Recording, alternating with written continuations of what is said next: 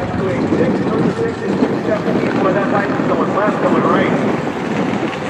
Greener pretty much had no chance.